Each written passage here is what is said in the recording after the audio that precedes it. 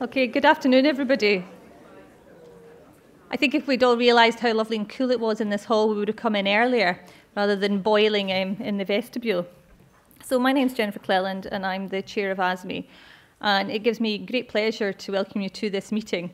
Uh, we've got a great programme, lots jam-packed full of workshops, presentations, more posters, I think, than we've ever had at an ASME conference, and presentations from people at all places from all places of medical education, from students and trainees to more established staff. And there's very much something for everybody in the programme.